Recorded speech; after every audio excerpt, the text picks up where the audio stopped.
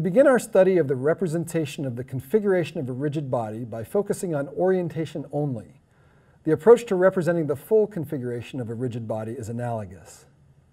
Consider two frames, a space frame S and a body frame B. They're shown at different locations, but we are focusing on their orientations. We can express the orientation of the frame B relative to S by writing the unit coordinate axes of frame B and the coordinates of frame S. In the coordinates of S, the xb axis is 0, 1, 0, the yb axis is minus 1, 0, 0, and the zb axis is 0, 0, 1. We can write these column vectors side by side to form the rotation matrix RSB. The second subscript, B, indicates the frame whose orientation is being represented, and the first subscript, S, is the frame of reference. Sometimes the two subscripts are implicit and we leave them out, writing the rotation matrix simply as R. As we learned in chapter 2, the space of orientations of a rigid body is only three-dimensional, but we have nine numbers in a rotation matrix.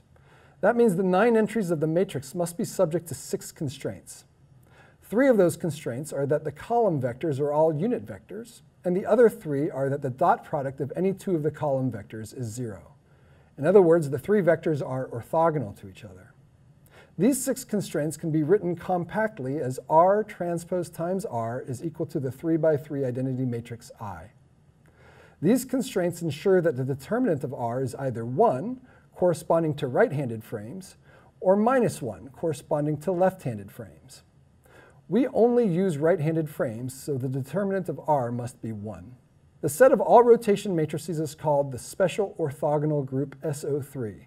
The set of all 3 by 3 real matrices R such that R transpose R is equal to the identity matrix and the determinant of R is equal to 1.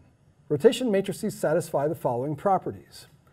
The inverse of R is equal to its transpose, which is also a rotation matrix. The matrix product of two rotation matrices is also a rotation matrix. Matrix multiplication is associative, but in general it is not commutative. Finally, for any three-vector x, r times x has the same length as x.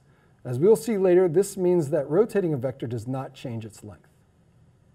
In the next video, we'll study three common uses of rotation matrices.